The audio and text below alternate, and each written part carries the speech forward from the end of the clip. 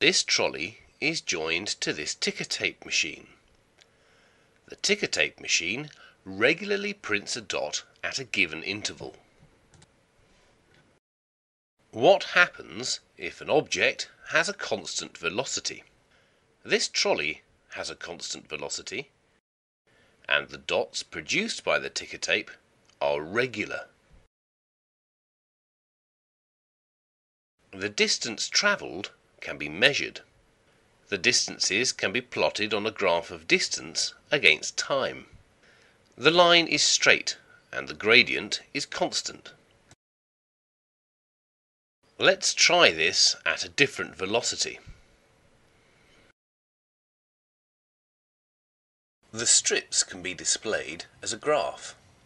This vertical axis is distance per second, and the horizontal axis displays time.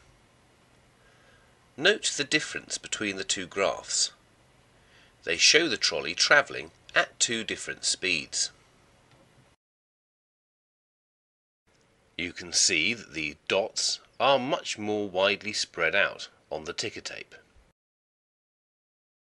This shows a greater velocity.